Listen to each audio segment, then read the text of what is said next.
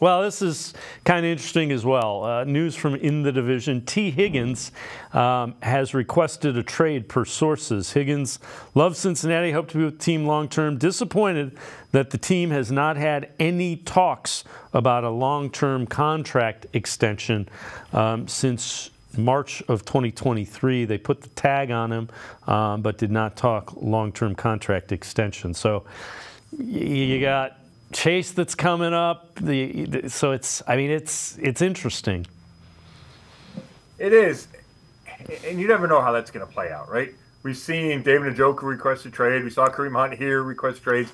They weren't dealt. I know there are a couple guys in Cincinnati. Um, I think Vonn Bell had requested a trade. Maybe Jonah Williams last year after they went out and got Orlando Brown Jr. So, you know, guys can request trades, but they don't have a whole lot of leverage, right? If you don't play, you don't get paid. So you know, maybe Higgins doesn't re- report to the offseason program. Maybe tries to hold out.